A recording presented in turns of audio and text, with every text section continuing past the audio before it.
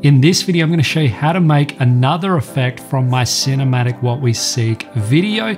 You can check that out via the link in the description below if you haven't seen it already. But the effect we're going to be making is this fire embers effect, just sort of coming out of the fire and then creating stars in the sky. It's the very last shot from my cinematic film.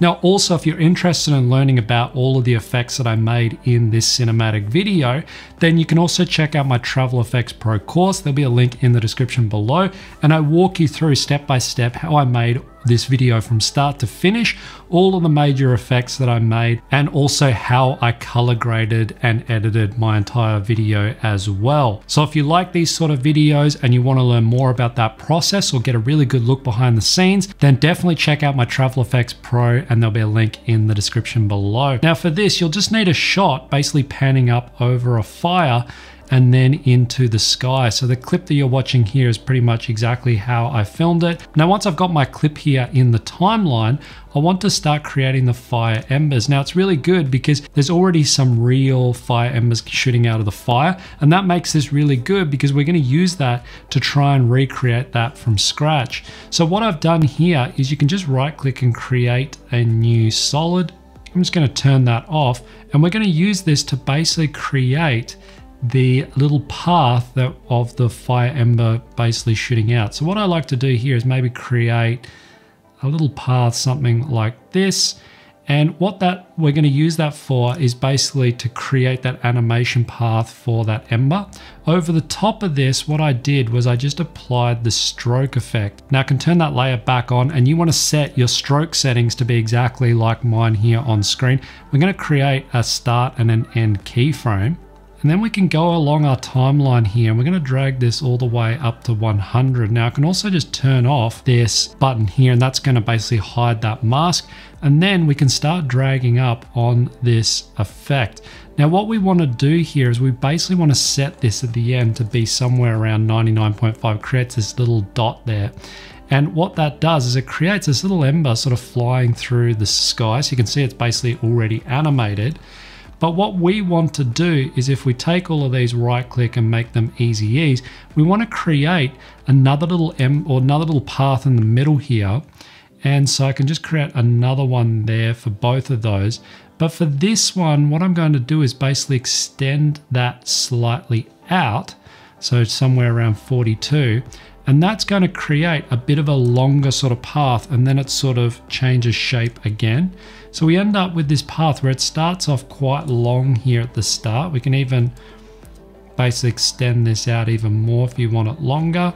Then as it's moving along that path, we want it to basically shrink into a, a, small point or a star in the sky. So that's what I'm doing by creating or animating those points along that line. Now, if you're liking this video, then maybe consider subscribing to this channel. And just before we move on, I want to tell you about today's sponsor, Envato Elements. Envato Elements is a one-stop shop for all your creative needs. Using their low monthly subscription, you get access to unlimited downloads for stock video, photos, video templates, music, sound effects, and millions of other creative assets it's something that I've personally been using now for the past year just because it saves me so much time in all of the different creative projects that I do. So instead of creating stuff from scratch, I can simply just go on there and download whatever I need for any of the projects that I'm working on. And I don't have to worry about getting copyright licenses for any of that stuff because I can use it in all of my commercial projects. Now, if you're interested in trying out Envato Elements for yourself, you can use the special link down in the description below, and that's going to give you 50% off when you sign up to an annual subscription. Then you want to basically select both of those, come in into the graph editor, and here is where you can adjust the basically the in and out points of that middle one to basically keep the speed up. So you don't want it stopping in the middle. So you basically want to drag them up here so that they meet in the middle. Now you can also just select both of these Go to keyframe interpolation and make this continuous Bezier. That will allow you to move these as one.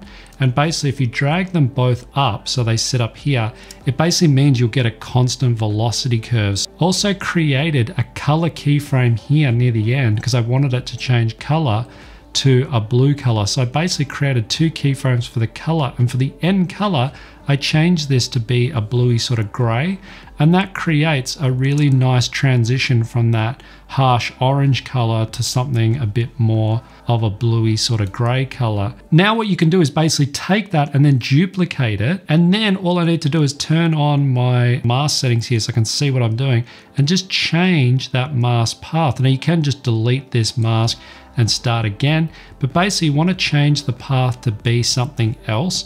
And if you do this and just keep stacking them on top of each other, you'll end up with multiple layers that look something like this. So they're all following different paths and they're all kind of moving in their own way until they end up as little stars in the sky. And once you overlay all those layers over that original clip, then you'll end up with something that looks like this. Now, one other thing that I did here was I took my background layer, which is my original video clip, I duplicated it and dragged it up here on top.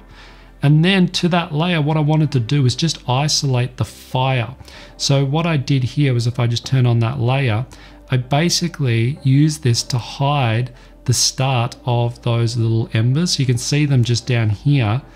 I just use that to hide the embers because the fire is meant to be sitting over the top. So what I did was I used a extract function to basically isolate, if I just show you that clip, to isolate just the fire, which is going to be the brightest part of the image. And then that way I can use it as an overlay. Now, once that's over the top, you don't see those embers which sit in behind it. Again, it makes it look much more realistic, kind of matches the entire finished frame. Now again, this is just one effect from my cinematic video. And if you want to learn how to make all of these different effects from that cinematic video, then you can check out my Travel Effects Pro course. There'll be a link down in the description below and you can check it out for yourself. Now, if you like this video, you can give it a thumbs up. If you loved this video, then maybe consider subscribing to this channel. You can also check out more videos just like this one over here on the side of screen screen. Thanks for watching and I'll catch you in the next video.